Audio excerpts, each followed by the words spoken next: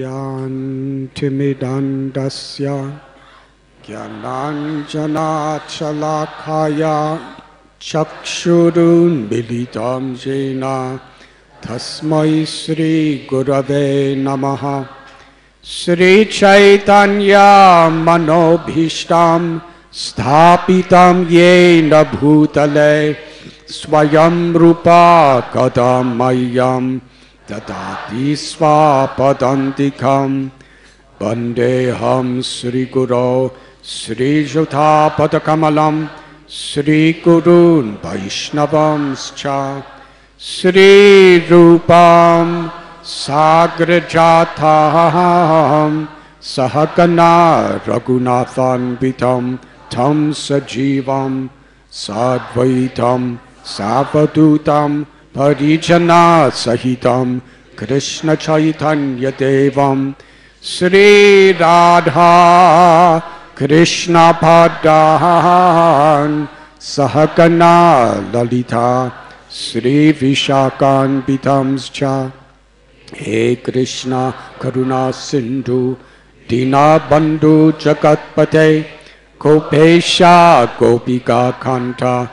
राधाकान्त नमोस्तते तप्तकाञ्चना गौराङ्गी राधे वृन्दावनेश्वरी वृषभानुसुते देवी प्रणमामि हरिप्रिये वंशकल्पतरुभ्यश्च कृपा सिन्धुभ्य एव च पतितानां पावनेभ्यो वैष्णवेभ्यो नमो नमः श्रीकृष्ण चैतन्य प्रभु Nityanand, Shri Advaita Gadadhar शिवासदि गौरभक्तवृन्द।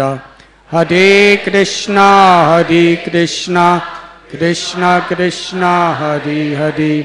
Hari Ram Hari Ram Ram Ram, Hari Hari.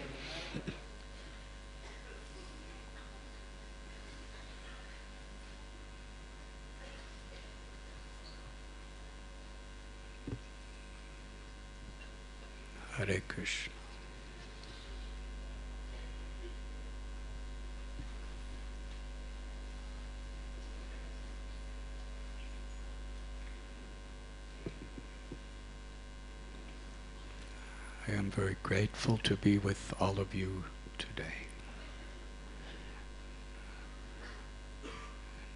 I welcome you to Radha Gopinath Temple.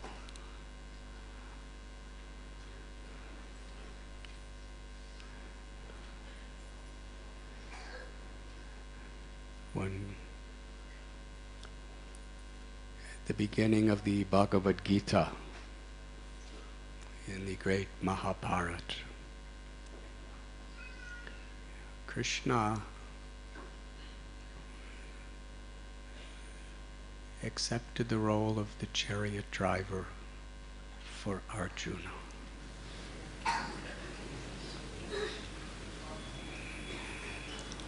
Arjuna is Krishna's devotee. Krishna's is Parabrahman. who the Vedic scriptures declare as Bhagavan, the supreme Brahman, the source of all avatars.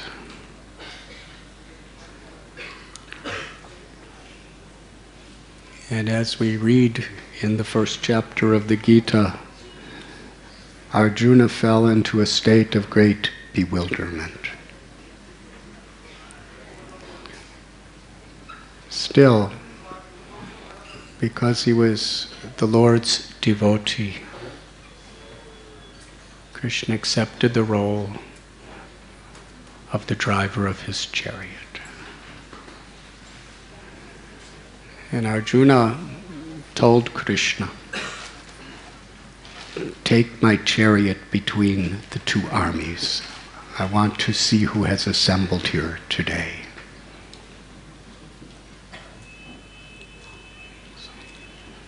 Krishna, obedient to the instruction of Arjuna, drove the chariot between the two armies. And then Krishna spoke Arjuna, see who has assembled here today. And Arjuna saw so many family members on both sides. Whenever I come here to Radha Gopinath temple and sit here and look out at all of you, I always remember these words of Krishna see who has assembled here today.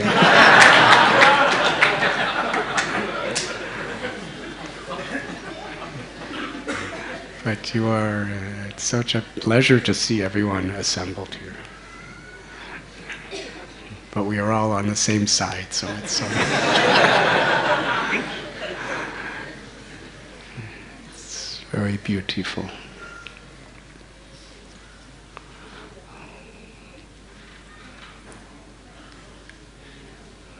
when we gather together for the purpose of bringing each other closer to that highest purpose of life, loving devotional service to the Supreme Lord. Then spiritual intimacy can grow between us. And ultimately, this is the intimacy that the heart is yearning for. Lord Chaitanya asked Ramananda Rai, What is the greatest form of distress?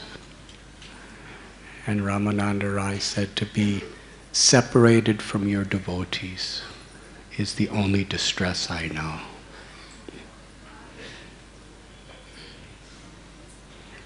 when we share Krishna with each other.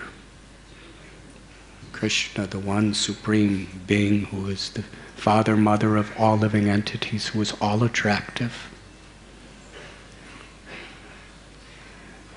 Krishna reveals himself in most special way when devotees share that remembrance with each other.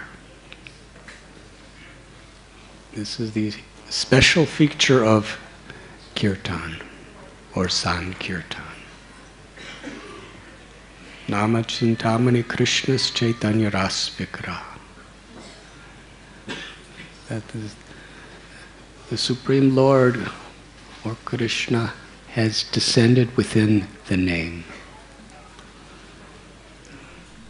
Nam Nam, Lord Chaitanya prayed, Nam Nama Karidam. Nijasarva Shaktish. That the beauty, the sweetness, the power of that absolute truth, Sri Nandana, is within the name. It's a transcendental sound vibration. Golokera Premadana Harinam Sankirtan. This sound vibration has descended from the spiritual world. Krishna reciprocates when we chant the name with humility and devotion. When we come together to hear and to chant, the actual spirit is we are sharing Krishna with each other. And in sharing Krishna with each other, together we are offering our hearts, like one heart, for the pleasure of the Lord. The ahankar, the false ego, creates so many differentiations, so many different conceptions of who we are, what we want, and therefore, in this age of Kali, where ahankar or the ego is so strong, there, we are so vulnerable to quarrel and hypocrisy. It is practically everywhere, on every level of life, the potential of quarrel and hypocrisy because everyone wants to have their own interests, either individually or collectively, as the center, the focus of life. And because there's so many different mentalities, every living entity has a individual unique, unique mentality. There are no two people in all of creation that see anything exactly in the same way. Because whatever we see is filtered through our ego, our senses, and our conceptions. What is our desires? What is our aversions? What are the conditionings of what we've been through in our life? All of our experiences. No one has had the same experiences. And therefore, no one sees anything or anyone the same way. It's quite incredible.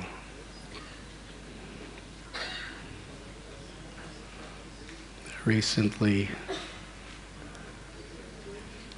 I was in Chicago and it was snowing. So much snow. Everywhere you went, it was halfway up to your knees almost in snow.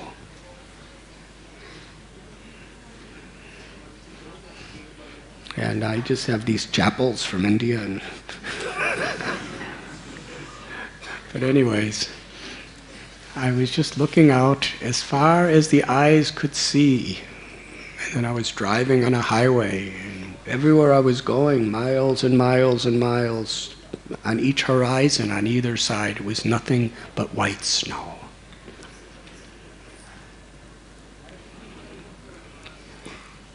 And I was thinking that in the entire span of creation, there has never been two snowflakes that are exactly like each other. Did you ever see a snowflake under a microscope? It's actually very beautiful. It's very artistic. It's an incredible design. Symmetry, balance, and each one is unique. Similar, but unique. And we, see, we just see snow, we just see whiteness. But when you look at it under a microphone, I mean a microscope, microphone,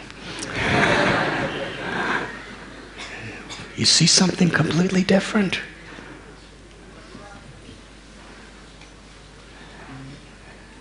Now you have your Chowpatty beach just a couple blocks away. And it's become quite clean compared to years before. Years before, it was like Chowpatty toilet. I used to, because Srila Prabhupada would used to like to walk along the ocean side and the beach, so I would think, let me do that. And it was quite um, an adventure trying to avoid other objects that people were placing on the beach. But now it's better, I think. But how much have you taken interest in the sand on the beach? I'd like to show you all a photo someone sent me. This one lady from California, she sent me a photograph of a magnification of ordinary sand on the beach. Incredible. There's stars and crescent moons and unbelievable colors and unbelievable shapes. It actually looks like a paradise. And when you just look at the sand, it just looks like every grain of sand's the same. But when you look at it under a microscope, I don't know how many times magnified, every grain has a special shape and a special color and a special texture. And it's actually amazing. It's beautiful. It looks like unbelievable engineered artwork. But that artwork, with all its uniqueness and design and texture, is so small that our human eyes have no ability to even appreciate it at all. Just looks like sand. so the perspective we have in this world is so limited. We're seeing everything according to how we are programmed.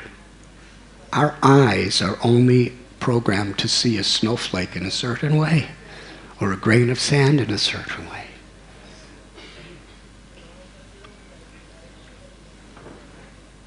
Our ears, everything, our minds are programmed not only to see it in a certain way, but to interpret according to our own experiences and conditionings in life.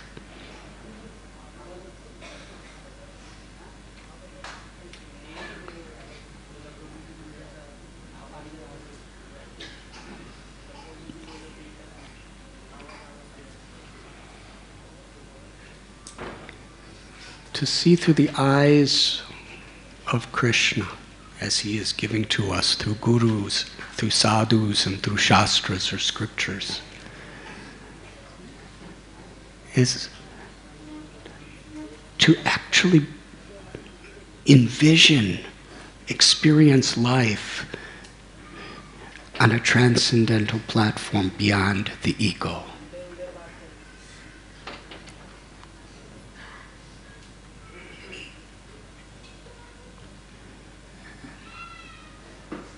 And that is the actual fruit of spiritual life. To rise above the ego that divides us. When we are divided from Krishna within our heart, we are also divided from each other. And union is so conditional. Srila Prabhupada explains the United Nations. Everyone has their own flag and everyone has their own interests. And everyone's united, they're only united to the extent is that they have their own personal interests fulfilled. Which is a good thing in this world. But it's not very deep or sustainable. But when we actually understand our common interest, that we are all part and parcel of Krishna. We are all eternal souls. And this whole material creation is an incredible facility to realize our own potential and to realize our potential loving relationship with each other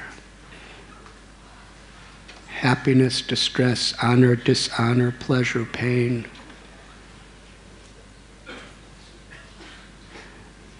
The beautiful sand and the things that people sometimes leave in the sand, which makes it not beautiful at all to the senses. Everything, everything is a facility to understand our relationship with Krishna.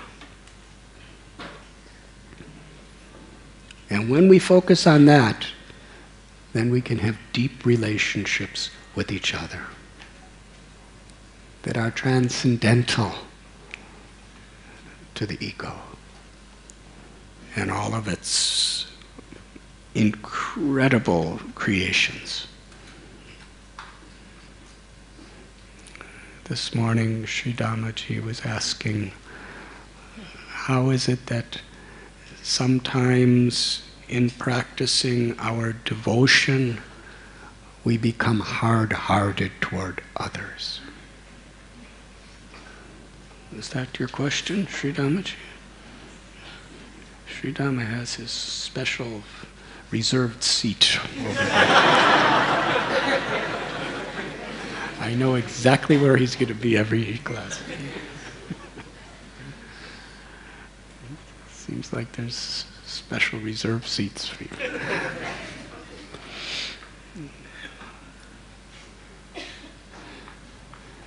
But so often that is what happens. That's not about Krishna consciousness.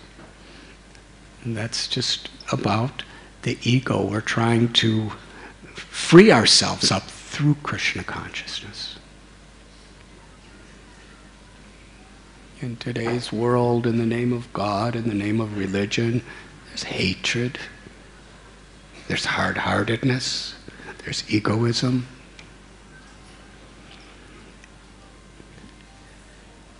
Everything that true spiritual life is meant to overcome the whole purpose of it is contradicted when it makes us hard hearted and egoistic. In bhakti, we become hard hearted to the selfish, egoistic urges of the mind and senses. But that is supposed to make our heart very soft.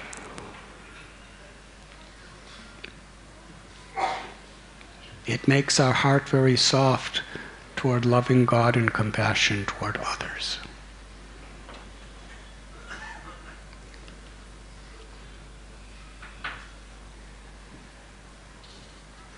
Tomorrow is the disappearance day of Udaran Dutt Thakur. He was a very special devotee of Lord Nityananda Prabhu. And Krishnadas Kaviraj Goswami and Srila Prabhupada and our acharyas, Vrindavan Das Thakur, when they talk about Udaran Das Thakur, they especially focus on a very special, essential lesson that Lord Chaitanya came to teach us. that in bhakti, or on this true spiritual path, it is the quality, the essential character that is important. In the world today, so often we take things according to external appearances. Sri Chaitanya Mahaprabhu made the Namacharya the person who was the topmost teacher by his character and by his example. Haridas Thakur, who happened to be born in a family of outcasts. And this was 500 years ago,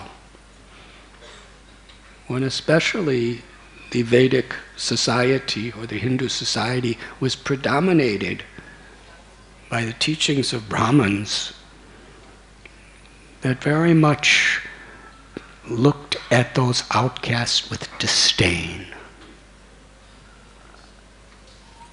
That it was impossible for them to attain self realization the best they could do is serve the Brahmins and obey them. And then in their next birth, they would get a better chance. That was the way it was. Sri Chaitanya Mahaprabhu extolled the glories of Haridas Thakur as if he had many, many mouths. He said, I am touching you for my purification. Because Haridas's character, because of his deep faith, because of his profound ability to forgive others who have tried to harm him, his ability to tolerate the temptations of illusion Maya Devi, in so many forms, tried to distract him, but he was focused on the holy name. Beautiful prostitutes and Maya herself appear to him in a lonely place to distract his attention. But he was faithful to the holy name. And then another distraction. He was he was blasphemed, he was dishonored, he was sentenced to die for doing nothing wrong. He was tortured, he was beaten. He was thrown in a river like a piece of trash, taken to be dead. And he forgave them.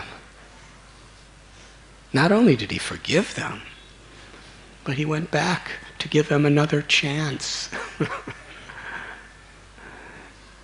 In this way, he was tested. Would he be angry? Would he be vengeful? His heart was pure. Because ultimately, we're all pure souls, whatever body we're in, whatever sex or caste or race, whatever social status. We're all pure eternal, loving servants of the Lord.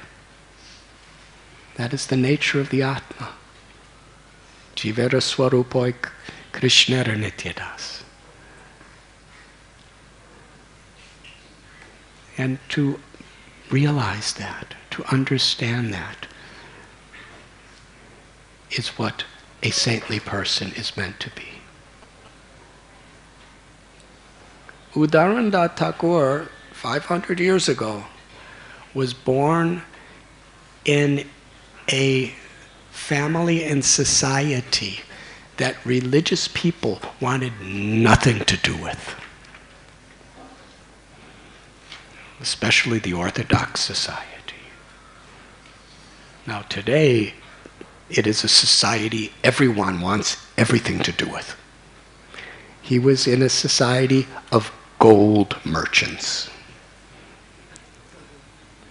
Now, in those days, gold merchants were notorious for being materialistic and greedy as anything.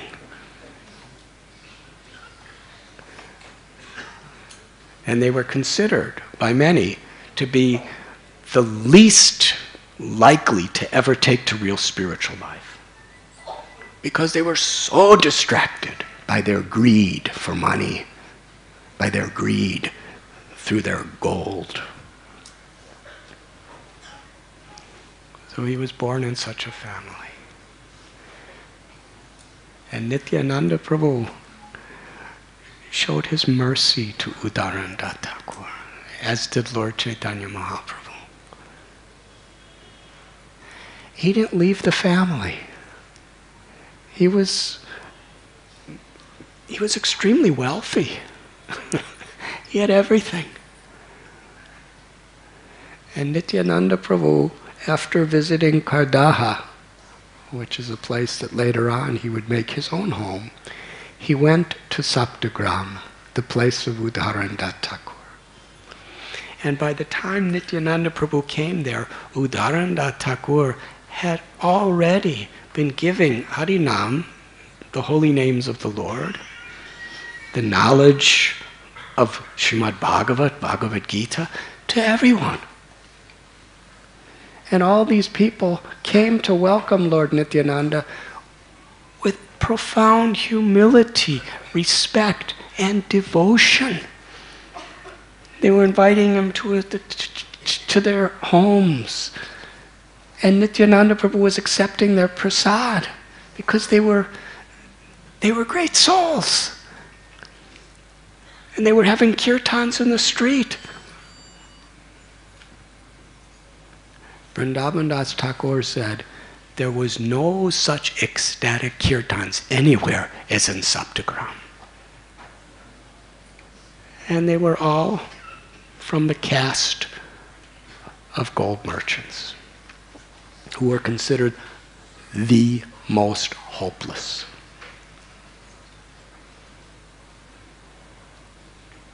One person. His devotion transformed the entirety of the society around him.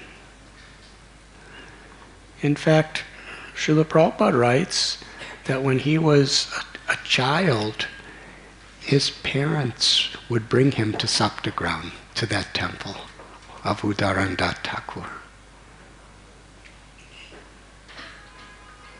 So, so special.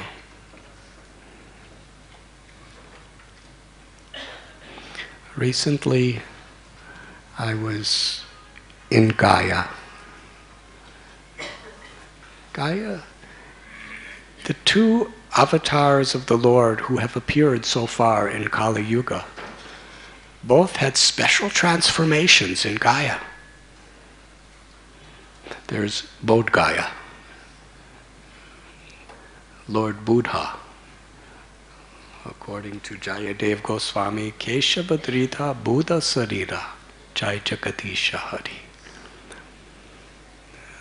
And Srila Prabhupada quotes many times from the Srimad Bhagavatam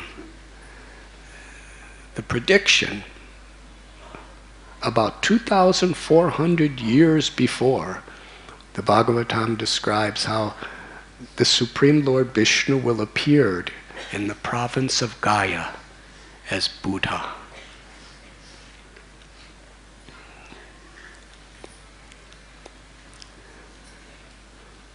And according to the histories, he was a king, or a prince, the son of a king.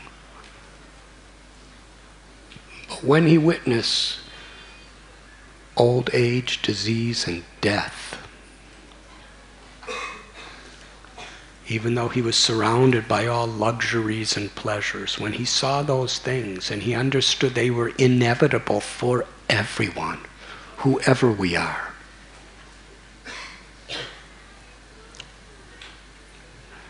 Krishna, through material nature, gives us a good lesson.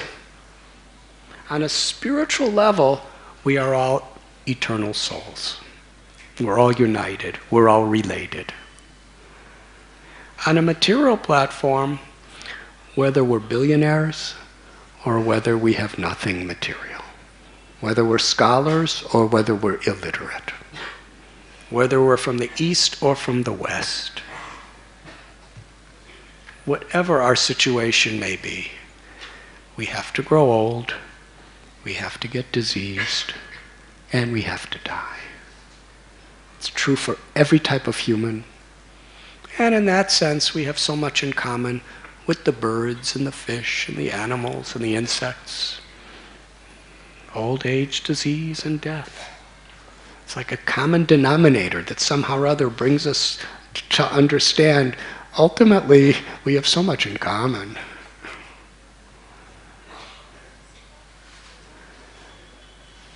So, with all his luxuries and all of his future of power and influence, what's the use? We have to grow old, get diseased, and die, and so many people are doing it. How can I save myself from that? And unless I save myself, how can I help others? What's the use of helping others unless we could actually help them in that way? So for years he traveled and studied and did different tapasyas, and then in Bodh Gaya, according to the history, under that peepal tree, he sat, and that's where he was enlightened. And just a few miles from there is the temple of the Vishnupad. That temple has been there for a long, long time. And interesting, one of the main messages, according to Srimad Bhagavatam, of Lord Buddha was to crash through this sectarian, materialistic consciousness in the name of religion.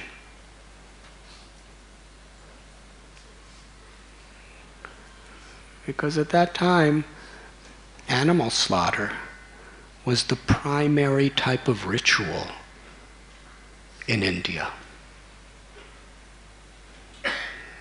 The Brahmins they were actually inspiring this. And Buddha taught ahimsa. That true Dharma is compassion and respect for all living beings. And just near the peepal tree, there's another tree. And there it explains when he first came out of his enlightened state, he taught that a real Brahman is not by birth, but by quality. He's Vishnu. Krishna teaches that in Bhagavad Gita also. So, specifically, what his followers' philosophy and his philosophy, uh, that's another subject. But this principle to crash through egoism, to crash through, crash through the sectarianism and manipulation and exploitation in the name of spirituality and religion was very much a part of his mission as Lord Vishnu. And the next avatar of Vishnu that came in the age of Kali was Sri Chaitanya Mahaprabhu. And from Navadweep, where he was living in the role of Nimai Pandit as a great scholar, he took permission from his mother, Sachi Devi, to go to Gaya to perform the last rites for his father who had recently passed away, and for all of his forefathers and mothers.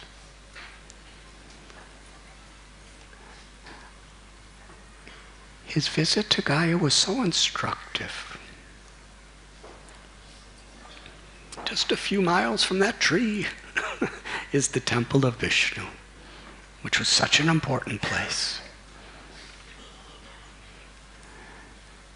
On the way, he was traveling with some students.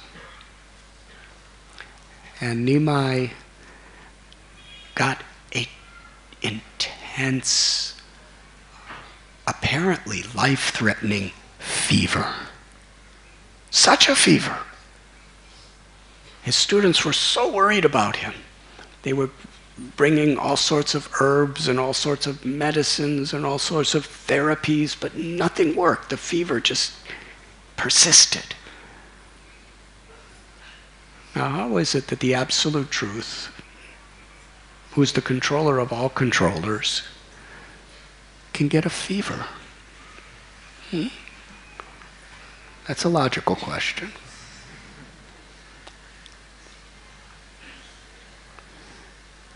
if he's the controller of all material creation and all spiritual existence, aham sarvasya prabhavo mata sarvam pravartate.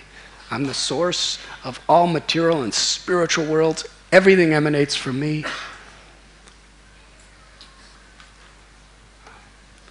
How is it possible that he can get a fever?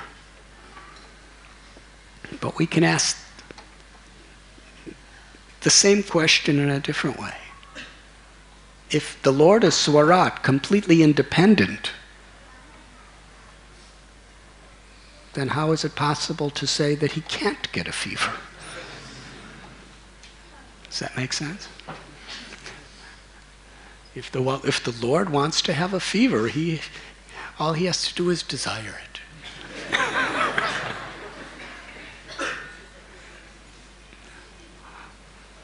In the Bible, it talks about a version of creation where the Lord said, Let there be light, and there's light. Yes? Let there be life, and there's life.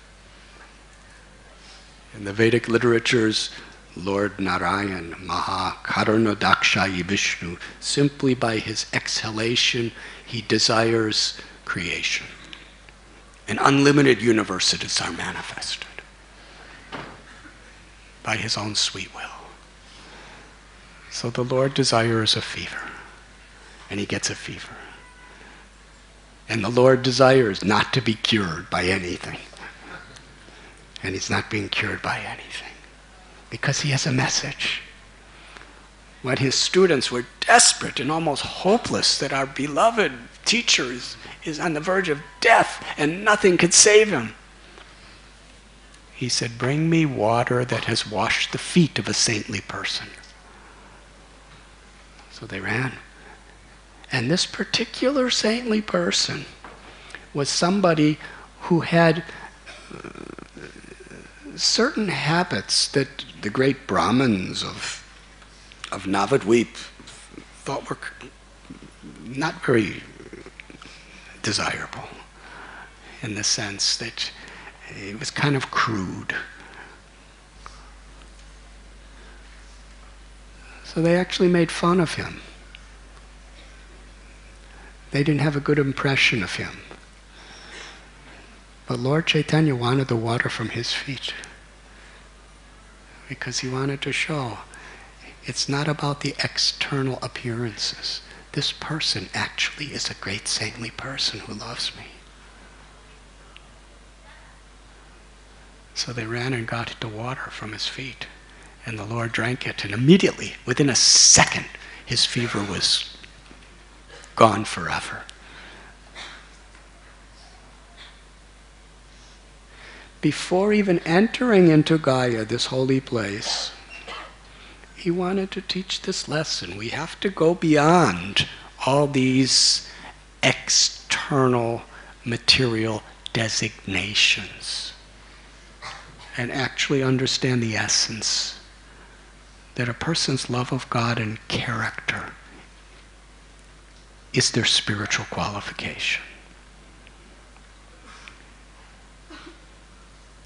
Rupa Goswami explains that sometimes the Ganga, the river Ganges, has foaming bubbles on it. Have you seen? These days, there's so many foaming bubbles.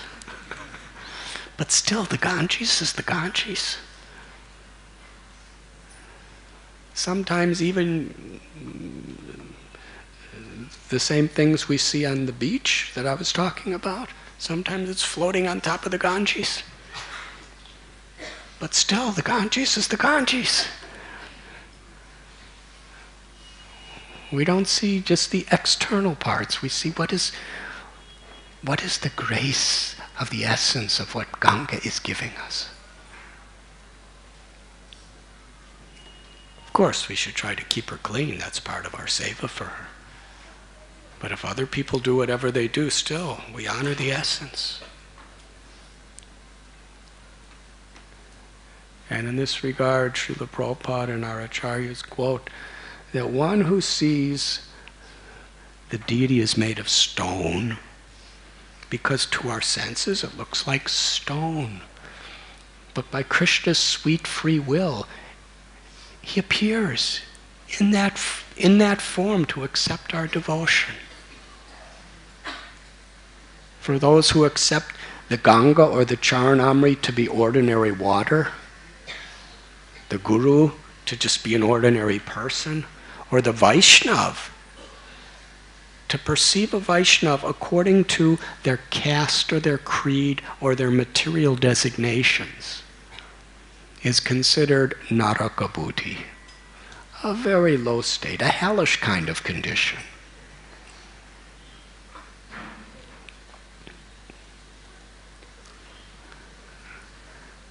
So Mahaprabhu came to Gaya. And there, the Brahmins were great Brahmins at the time. There, specifically, they were chanting beautiful praises of Lord Vishnu. And they were offering wonderful, wonderful garlands and sandalwood and incense and cloth and, and fragrances. And Sri Chaitanya Mahaprabhu, hearing them sing such pure prayers, at that moment, the ecstasy of his love, Sri Radha's love, manifested from him. There were torrents and torrents of tears pouring from his eyes. His hairs were standing on end. His limbs were trembling. Nobody had ever seen anything like this. The ecstasies of his love. And it was at that moment that Ishwar Puri, a great, great devotee, appeared. And when Lord Chaitanya saw Ishwara Puri, who he had met in Navadvip recently before, he said, the actual goal of my pilgrimage has been fulfilled because I am seeing you, a true lover of Krishna. And Lord Chaitanya asked Ishwarapuri to be his guru and to initiate him. And the background of Ishwarpuri is very interesting, we know. His guru, Madhavendra Puri, had so many exalted avatars and saints as disciples. But when he was on his deathbed, Madhavendra Puri was materially an invalid. Couldn't walk, couldn't sit up. His body was it was practically destroyed by time. Ishwarapuri, as his disciple, was per- personally serving him with such faith and devotion. He wasn't seeing the defect of the body. He understood the nature of this body is to inspire people to love God. Ishwarapuri would clean him with his own hands and was constantly speaking to him Krishna's pastimes, Krishna's teachings, and chanting Krishna's names.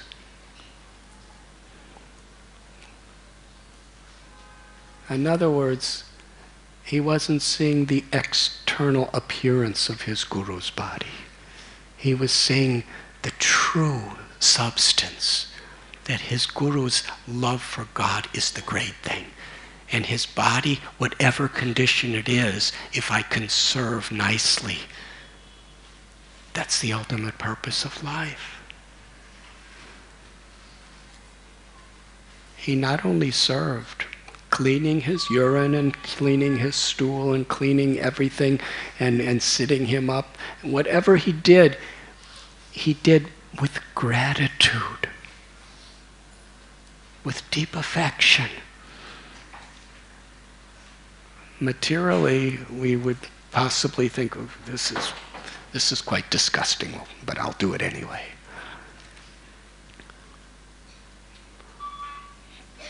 But he was seeing through the eyes of devotion. Every situation, he was so grateful. He was so humbled. And he did with such love and such care to please his Guru. And because of that humble spirit, Madhavendra Puri gave him a blessing. He said, My child, may you gain pure love for Krishna. And with that blessing, Ishwarapuri attained the ultimate perfection. So much so that the Supreme Lord Himself, Radha Krishna Pranaya Vikritir Ladini Shakti Rakshman, that one absolute truth appeared in two as Radha Krishna for the purpose of loving relationship. And the two, Radha and Krishna, came again as one in the form of Sri Chaitanya Mahaprabhu. Radha Bhava Suvalitam Nomi Krishna Swarupam. Krishna, who attained, who appeared with the complexion and the love of Sri Radha. And Sri Chaitanya Mahaprabhu, who was Krishna with Radha's love, appeared in this world as a devotee to teach us how to become devotees by his example and by his words. and of all the saints in creation, he accepted in Gaya Ishwarapuri as his guru. Especially to teach how much it pleases him when one sees beyond the external and actually becomes the servant of the servant of the servant of the Supreme Lord.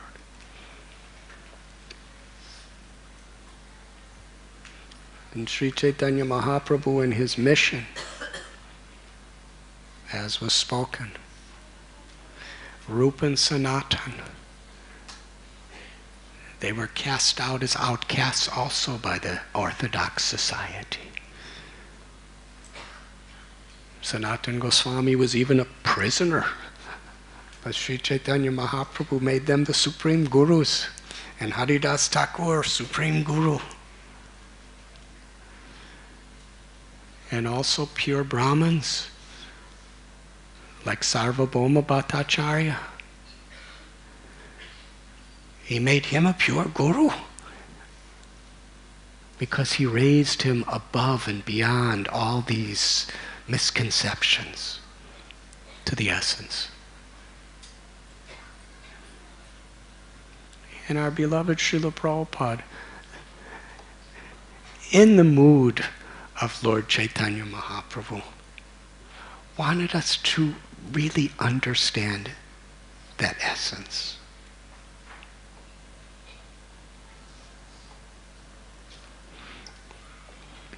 I recently wrote, read a um, quotation from a very famous um, statesman who, a couple centuries ago, was a president of the United States. And he said that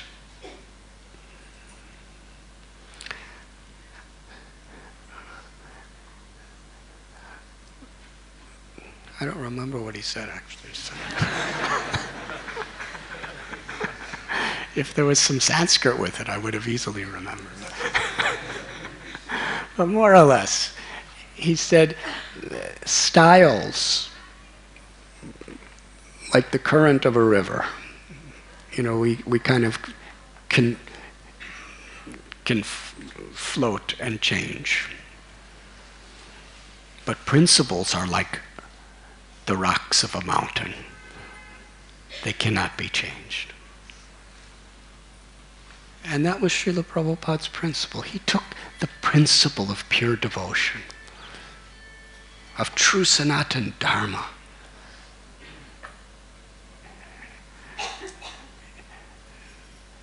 Pure, pure love of Krishna. That was the principle. That siddhanta was uncompromised.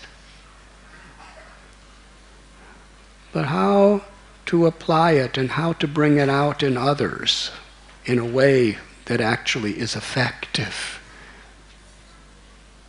And how to bring people to that true conclusion. Like the river, it can be adjusted.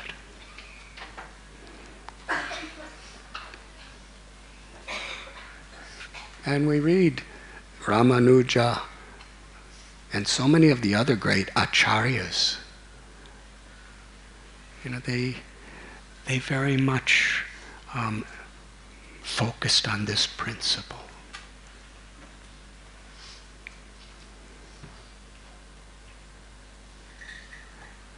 Gaya is very much historically a place that has been um, manipulated in many ways by very materialistic oriented Brahmins, yes,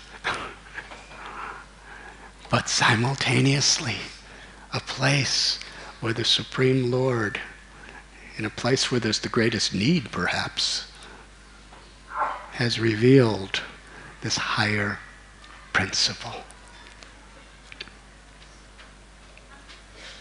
Uddharan Datta Thakur,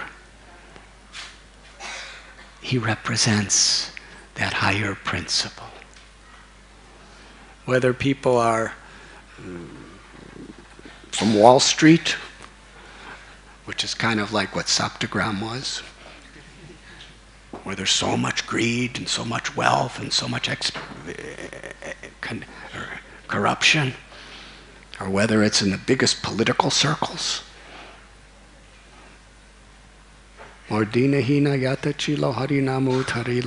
Sakshi jagai.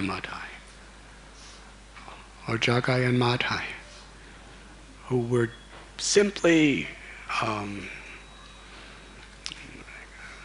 murderers, thieves, and rapists, the most criminal people. And also, the day I went to Gaya, I also went to Jharikhanda forest. And I went to the place where, according to many people, the footprints of the animals and Lord Chaitanya are still there in the rocks. Very special place. There's a temple there with Radha and Krishna, and behind there's a beautiful painting of Sri Chaitanya Mahaprabhu's Leela in Jharikhanda. And we all know that story. It's not far from Gaya. Sri Chaitanya Mahaprabhu was going through the forest and he induced the tigers to chant the holy names. He was going down a forest path, and Jharikhanda in those days was such a thick forest. It's the most dangerous forest in all of India. And there was a tiger sleeping right on the path. Now, you and me, we would probably go the other way. Or we would very quietly tiptoe around the tiger.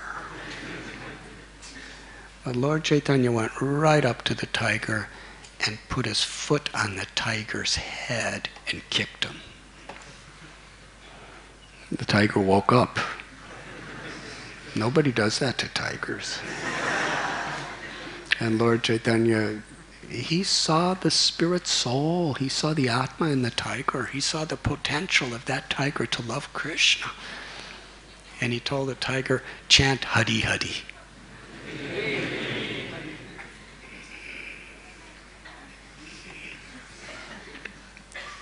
Now, if you or me did that,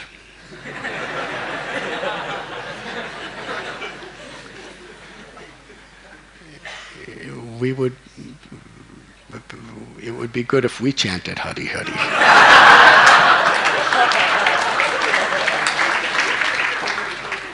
because Antakali Chama Meva. we remember Lord Hari at the time of death, we will attain him. But Sri Chaitanya Mahaprabhu, he had such love and care for that tiger tiger could actually recognize that this person loves my, he loves me. Lord Chaitanya's love for him actually made it possible for him to understand who he was. It's similar when a saintly person, Srila Prabhupada, when he came to the West, he loved people and he saw the potential in people. And that could that actually awakened faith and trust. Sri Chaitanya Mahaprabhu was seeing that that tiger as his own beloved child, his own loving devotee. And the tiger responded. And he got up on his hind legs, raised his paws, and chanted the holy name.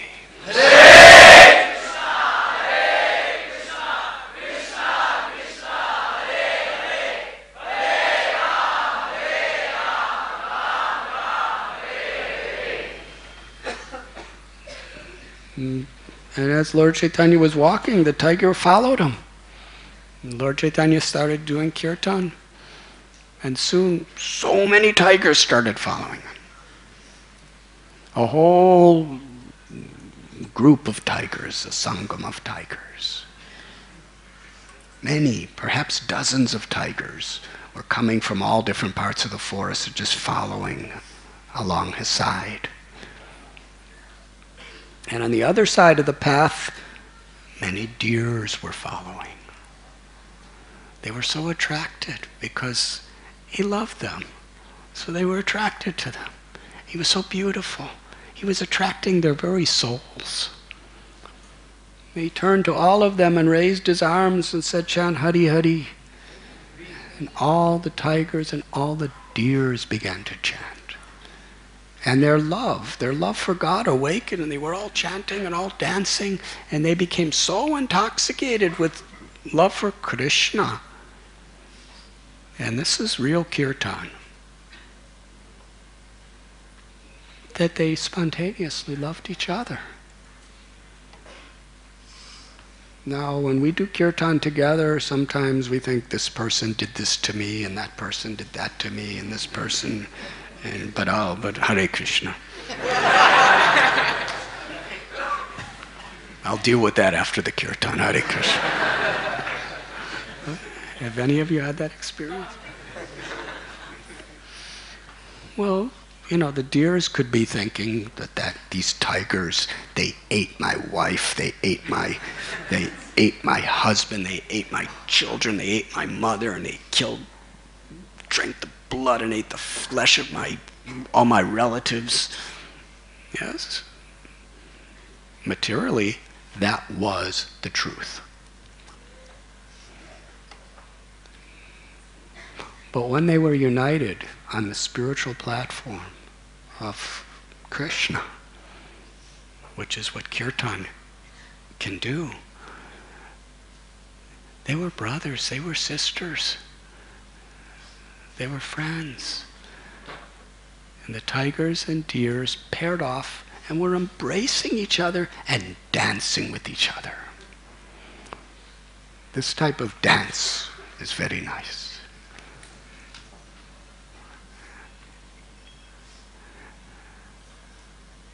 This is kirtan.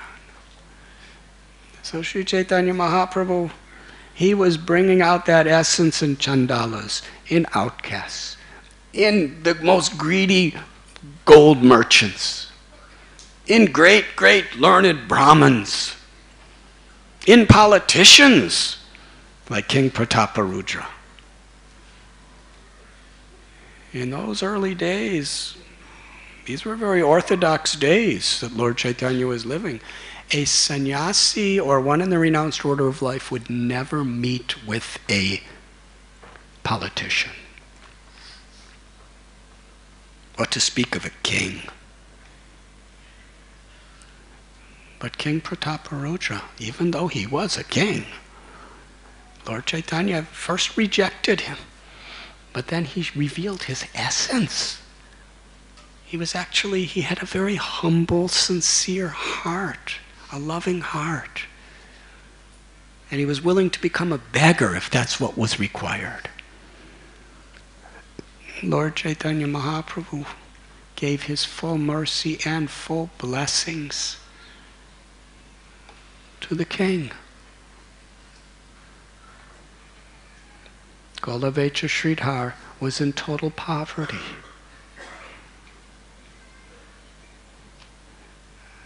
The washerman, tailor for Srivas Thakur was a person of another religion who was eating meat and doing all kinds of stuff like that.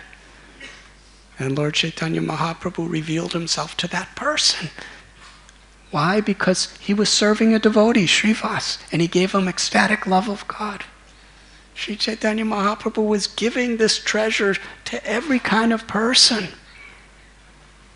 Kings, people, kings and poverty stricken leaf sellers, the illiterate and the greatest scholars, the Brahmins and the untouchables. the tigers and the deers and the snakes and the elephants and the trees. This is the message of Chaitanya Mahaprabhu. How to awaken the love of the soul. Jiv Jago, Jiv Jago Gora Chandra Bole. Kota Nidra Jaya Maya Pisa Chira Kole. Wake up, wake up, wake up, sleeping souls. And how to wake up? This kirtan, chanting of Hare Krishna mantra, the names of God, is the most powerful way of waking up the soul.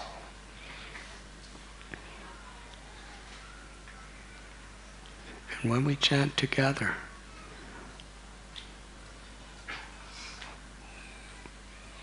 the spirit of kirtan is our many hearts become one as an offering for Krishna's pleasure.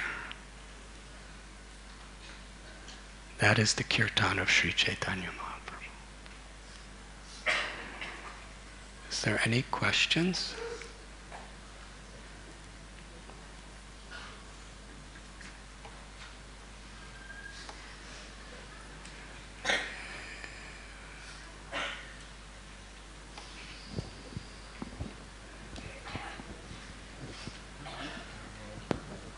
Hare Krishna.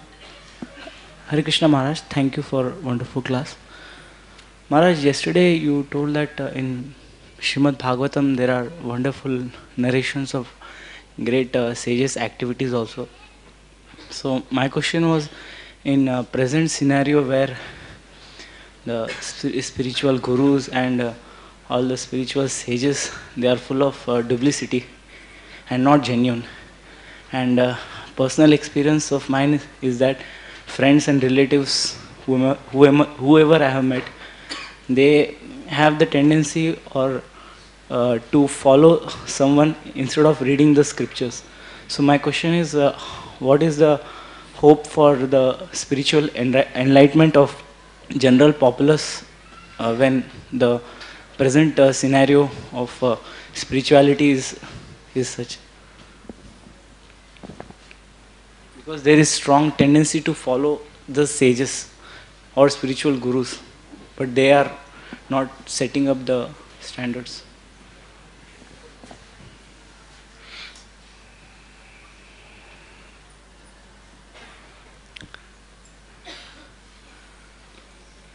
the great Vaishnavacharyas give great emphasis to the conception of parampara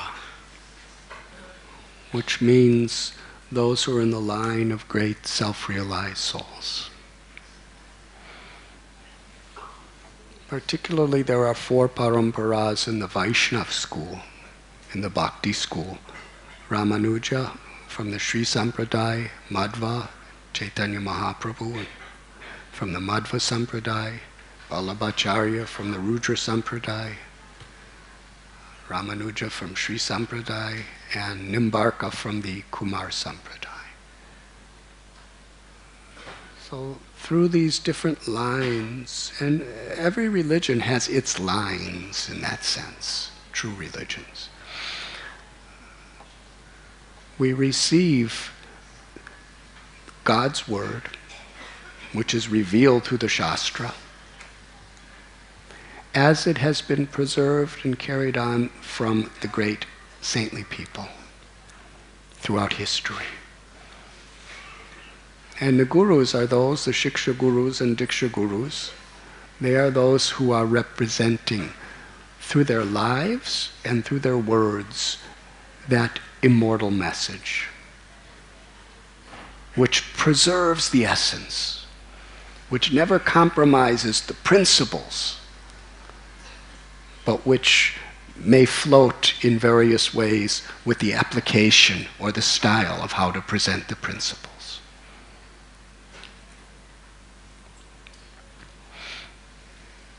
And when we are connected in that way, and we understand what are the real qualities of a saintly person, then we're under the protection of Krishna.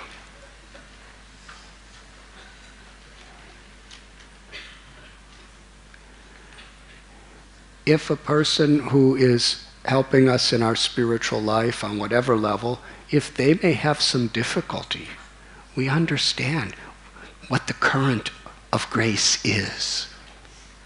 Bhagavad Gita explains what are the qualities of a, of a true devotee.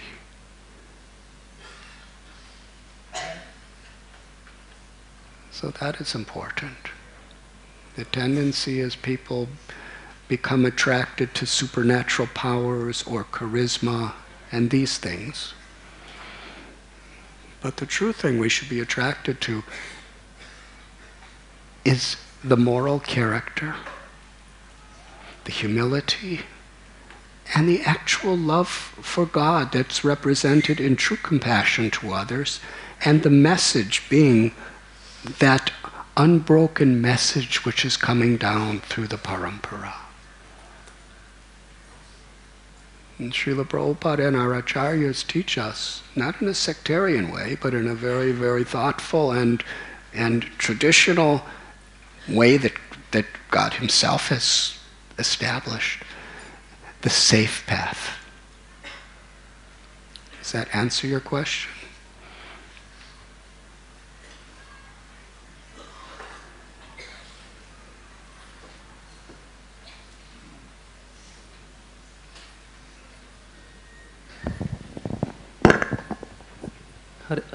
Hare, Krishna Maharaj, thank you for wonderful class. Maharaj, you told that uh, Jharkhand uh, example that where tigers and deers come together in holy name. Uh, today's scenario in uh, society, the political leaders, they are making individual groups, and uh, due to that, they are making a popular, but uh, normal normal man, they are like fighting each other, even if they are staying together. Now my question is, the leaders are popular, but common they are suffering in society, and due to that, they are uh, neglecting spirituality and they are uh, means godless civilization. They are not keeping faith on uh, God, uh, Miss Krishna or any other Hindu uh, scripture or all these things. So I would like to, miss, uh, what is the solution to this uh, uh, practical scenario? Because there are there are so many leaders. They are uh, in India. If you can see the spirituality on the name of spirituality, there are so many sages are there, but uh, people are not following them. And political leaders, they are uh, majorly on secular secular base. They don't wanted to uh, give more importance to our uh, Vedic scripture. They wanted to follow, uh, give more importance to minority. Hare Krishna. I'm not going to ask which political party you will vote for.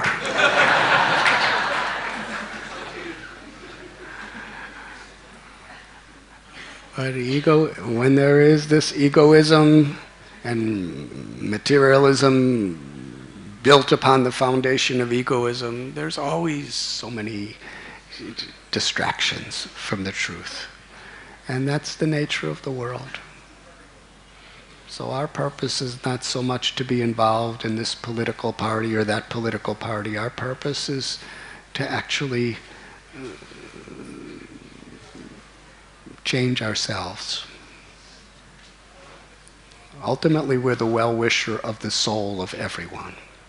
Yes? And by cultivating our own purification through our spiritual practice, our sadhana, and by um, associating with people who have a like mind to do the same, we can actually develop spiritual strength to overcome that tendencies within ourselves. Because actually, whatever discrepancies we're seeing outside, we have the same things in ourselves on different levels, do we not? Yes. Whatever corruption there is outside of us, you know, we have those tendencies within ourselves. And the reason why they are the way they are is because they haven't addressed it within themselves.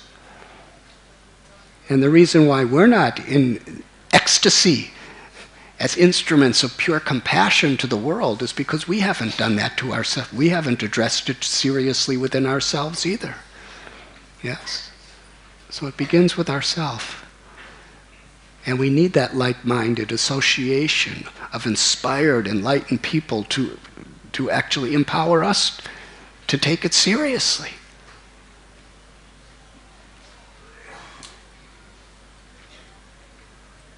And when we have that sangam or community of devotees who actually are connecting with Krishna's grace, then we become the instruments of that grace together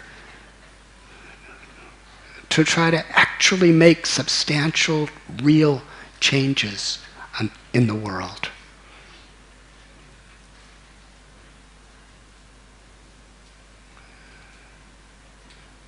There's a saying, physician should heal himself or herself. Yes? So we can see all these problems in the world, and they're true. But we have to look to our own soul. If we actually, we have to solve the problem within ourselves. We have to solve these problems with our own little devotee community. and then we'll actually have the power to make real changes within the world.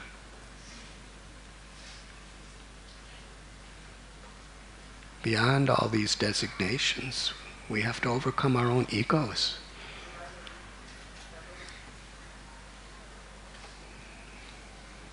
Harinama, Harinam, Harinameva Kevalam, Kalo Nasteva, Nasteva, Nasteva, Gatiranyata. The scripture tells us in this age of Kali, the medicine that we can take individually and collectively for the purpose of actually curing that and actually bringing about real positive spiritual change within the world is the chanting of the names of Hari.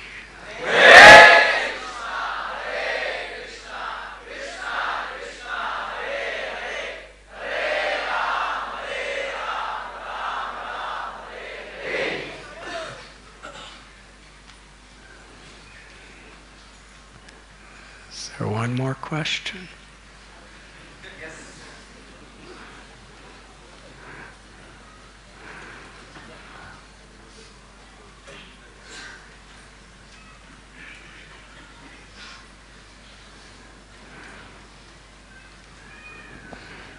Be prepared for this question. Hare Krishna Maharaj. This one uh, is related to the morning class.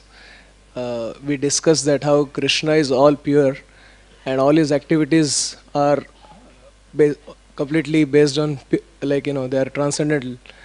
But uh, uh, about other personalities, other great personalities, like uh, we hear in Puranas, like how Indra or Vayu, they get affected by lust. So, how do we understand that at the same time keeping our respect for those respectable personalities?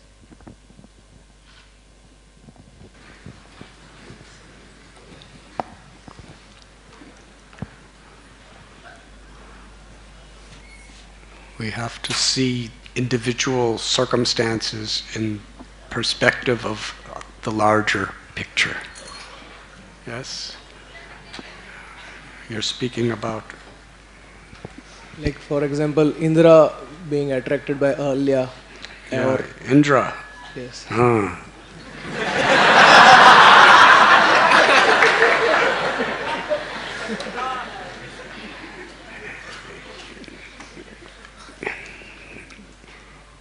Huh. Indra's a special person in the sense that.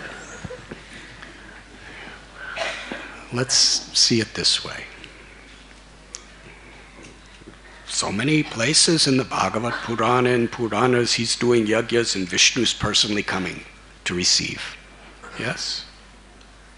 Does he do that with you?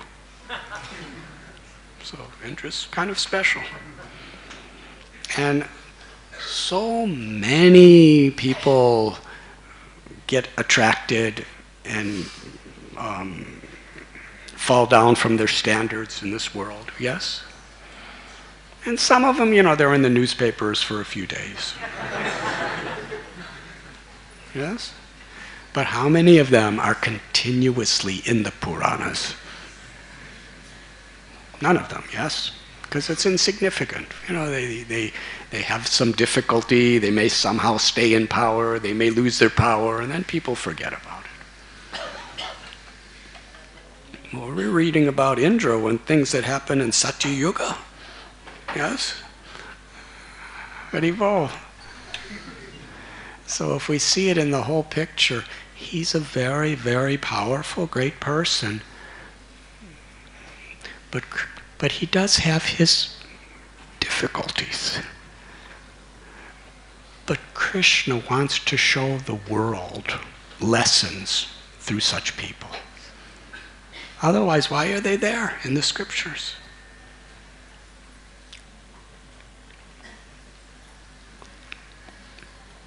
If Maya is so powerful that it could infect, infect Indra when he becomes too much enamored by his power, by his fame and popularity, by his wealth, if he could get enamored by those things, and what is our position? Yes? The idea is we should become we should be humble. Janmaishwarya Shrutishribhiredamana Puman. Kunti said, if we become too infatuated due to beauty, due to great wealth, due to fame and high, high, high education or high birth, if we become infatuated and proud, thinking I'm better than others, then we can't chant God's names with feeling. We can't take shelter of the Lord in a qualitative, sincere way. So we all have these tendencies. And to make a very, very strong example, Krishna uses Indra. Yes, even though he's such a great devotee, still, if he becomes proud of his wealth or his, or his or his beauty or his knowledge or of these other things, if he disrespects others because of that pride, then it's just a matter of time till Maya overcomes him. So Krishna's teaching us these lessons. And Indra is uh, such a special choice of Krishna to be giving us one example after another. Yes, because Indra means a controller. Yes, and we all have that Indra bhav, that we all have that mood of trying to be a controller and trying to be an enjoyer. Trinadapi sunichena turor ibasi hishnana amani namanadena kirtaniya sadari. We need to humble ourselves we need to take shelter of the association of saintly people. We need to take shelter of the holy names, knowing if it could happen to Indra, Krishna, please save little me. Yes?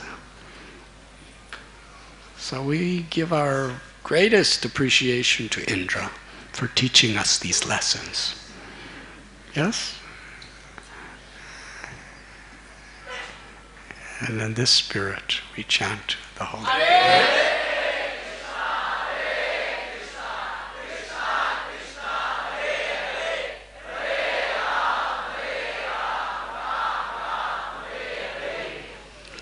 Now, in that spirit of our honor and respect for the wonderful lessons that Lord Chaitanya taught us through Indra,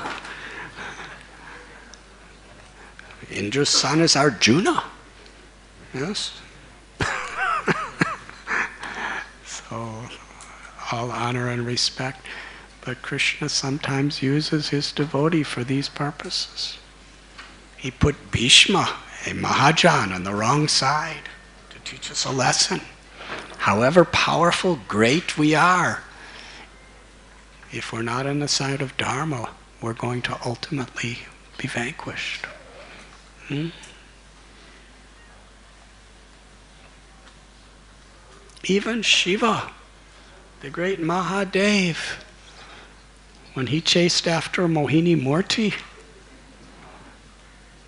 and all the sages were watching, I'm thinking, my Lord, what are you doing? you taught us not to do this, and now you're doing it. Huh? Lord Shiva, in the end, he was so proud of Krishna. that you used me as an example to teach the whole world. Thank you very much. Yes? And even Arjuna, who was Krishna's most intimate friend, he also went into an illusion on the bank on the battlefield of Kurukshetra after he, he saw who was assembled before him. Why? It was Krishna's arrangement to teach the world through his devotees.